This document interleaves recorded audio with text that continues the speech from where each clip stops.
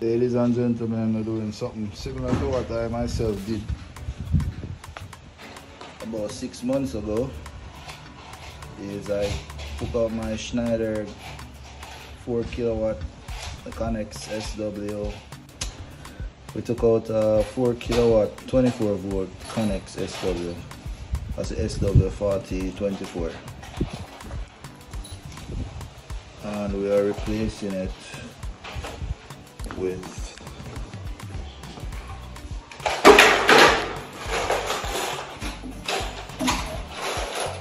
six kilowatt Growatt and we're using two three kilowatt split phase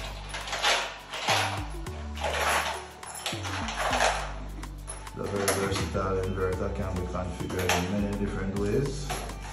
So today we're going to configure this as a 6 kilowatt split phase inverter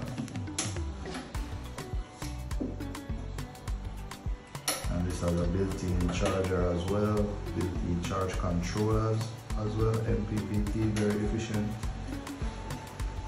I've been using this inverter myself, very pleased with it. Also gonna get rid of these Rolls batteries and we're gonna put in some lithium, some lithium iron phosphate. So we're gonna put in 110 kilowatt hour for now. Customer will add more batteries down the line.